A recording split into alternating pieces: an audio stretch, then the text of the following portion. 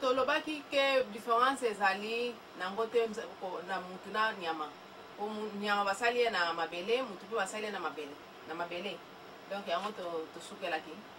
bien est ce que siko tie tembe ou bien parce que lelo makambo ya tembe eza te mais surtout makambo ya opinion personnelle ezali awa soki oyo ondimi no makambo oyo te problème eza te yo na bandeko ozali kolanda est ce que toyokani awa ke mutu na nyama Difference eza te Nzambe asalaki na kaka na mabele et puis atie pe souple qui est âme. Difference eza penza te mais difference ezali kaka wana po moto aza na esprit nyama nde aza na esprit te nde yango kaka na koloba. nde yango wana nzambe aloba etika tosala moto na ndenge na biso lolenge na biso elingi koloba nini sikoyo esprit place wana yo onyateli tosala ye na esprit na biso nde place ya difference ekokota entre mutu na nyama na biloko nyonso ekoki kozala na mabele oyo nzambe akrea sikoyo na banza phase na biso ya liboso ya création ya mabele esili eloko moko okoki kokuta na mabele oyo nzambe akrea te andeyoo ya biloko oyo tolobeli awa ezali te yango wana tobengaki premier partie biso kozala kaka detail concernant nini Creation ya mabele. Tokomi na point où mabele sikoyo ekomi créer mutu asuka mutu asalemi. De place ozali koyoka mama Annie sikoyo tokomi na jardin d'Eden parce que mutu asalemi, n'est-ce pas? Yeah. Mama Annie pesa ngai un peu définition nini oyo osili koyeba concernant jardin d'Eden. Bon, jardin d'Eden ngai nayebi po ntango aye kosala ntango asilisi biloko nyonso alobi asala motu ntango asali motu alobi sikoyo motu yango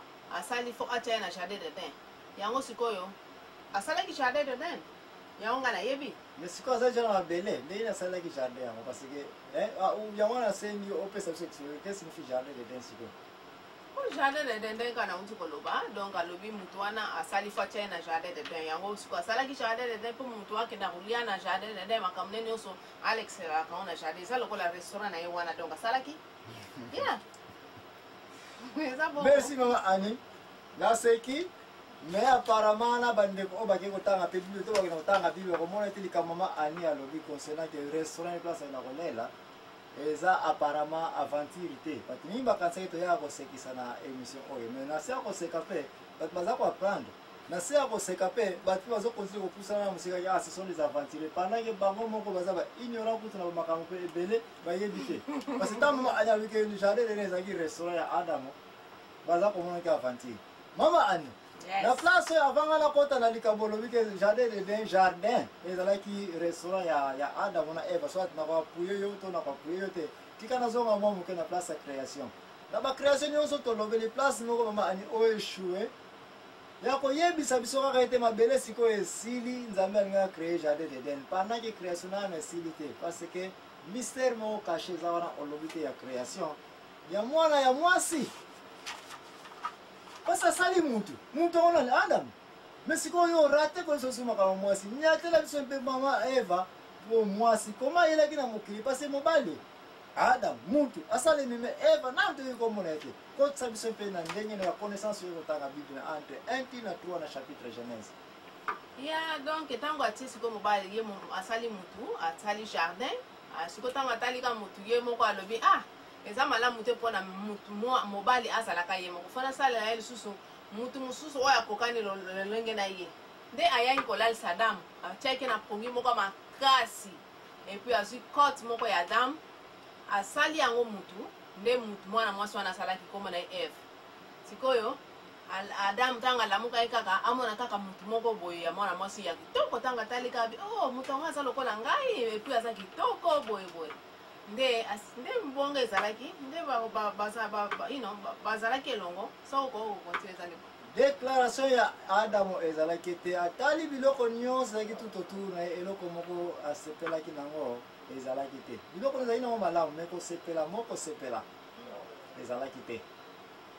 Mais ntango alamuki atali ndenge olobi, aye koloba ete ohohoho, oh, oh, oh, sikoyo motema na ngai etondi parce que namoni eloko ekokani neti ngai. basantima neti ya ngai makambo nyonso neti ya ngai nde asepelaki komona mama eva bien bati bien forme azalaki na pembeni wana tokozonga kuna te bana mike meme bayebi histoire oyo biso tolukaka place po poso ezali mama ani ndenge olobi nazongeli yo ke oza na 100 diplome d'etat ozwi yango ya koloba ete jardin ezalaki place ya restaurant ya nani ya adamu na eva tika na experience na bandeko oyo bayebi yango ça va merci mais na bango bayebi yango etika bolandaka très bien nzambe ntango atyaki adamu na eva atyaki bango na eden atyaki bango na jardin d'eden te bato mingi totyaka kate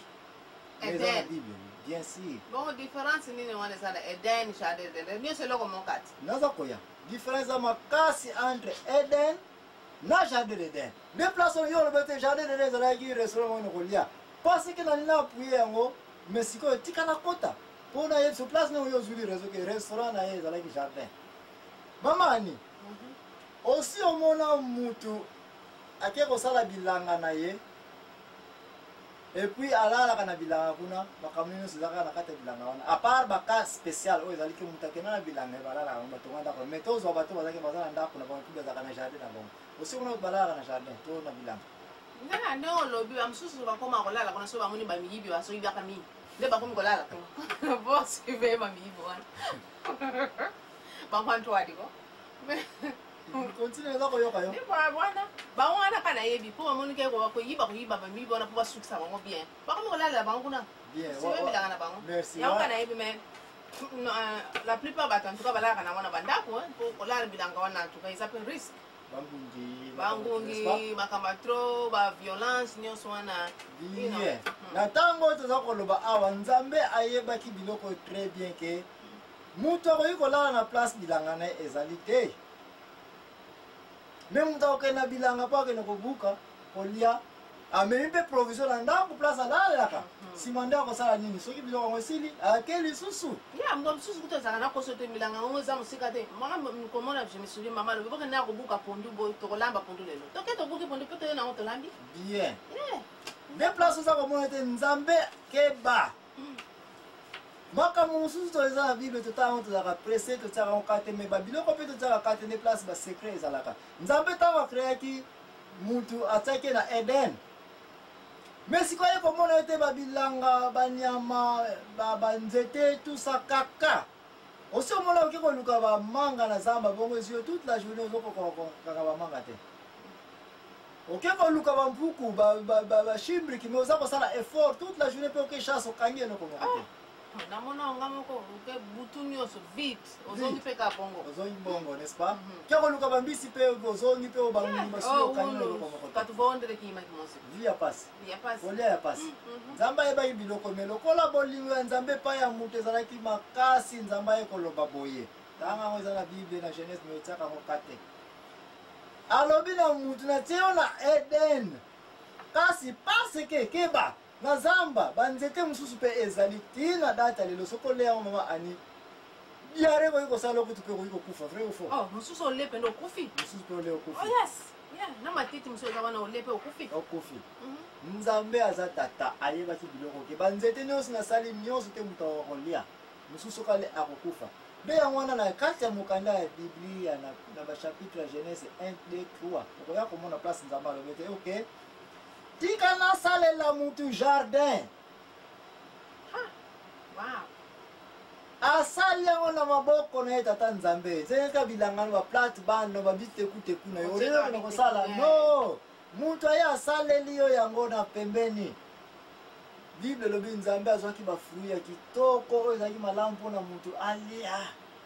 agrupaki yango, aklasaki yango. Eza neti kaka te na bavillage na bino, mama Ania Kiboko yo nokuta nzeta manga awa ya nsafu, awa ya avoka kuna, bandeke bato balonaka yango. Bato oyo baza ba grand fermier bayebi mosala yeke fermier bakoki kolakisa omoni koto oyo classement ya bia ba kote ba mangustan kaka kote ba orange kaka kote ba banana kaka elingi elobaki ya un ordre bien classé nzambe ye moko aklasaki bilanga ya kitoko asalaki abengi yango komino nini jardin ozoka me moto aza kovanda na jardin wana te moto aza kovanda na pembeni ya swate obenga yango village na konzwa yango babengi kombo ya nini eden eden ezalaki place mama eva na papa adam baza kovanda olingi obe yango village ngai nakozwa yango place yango zakofanda yango wana me soki gu na bango olobi restaurant yango mposa kolia elingi ezwa bango baza kokita wapi na jardin de den nzambe aza nzambe ayebaki ye te soki moto asali bilanga mamani soki osali bilanga ya baplate bande ya bandunda tusa estce oyaka kosopela yango mai te mpo maintenir yango Oh, fia. Fia, bien sûr, faut ya kosopela ngo mai. Donc, soki osopi mai te bantuna nyonso ekufi, ekauki. Maintenance ifo ezala. Nzambe ye moko awutaki na lola to aza kowuta na lola na science na ye. aza koya ko arrose jardin wana parce que ndunda banzete fo ebota mbula ezalaka merci mbula ezalaka na aire wana koma aza ko arrose yango tanga bible bien nzambe alobi boye mpo tokenda mokuse sikoyo na village wana eden place adamu na eve baza kovanda ngamu nazobe yango village juge na yo soko olingi kojuge nga nazwi charge yango rivière moko eza kobandela wana source ya mai eza kobanda wapi mama nikola lapongiti bakestion nini ebandi source ya rivière eza kowuta wapi na, na village na place adamu na eve aza kovanda bazobenga yango nini eden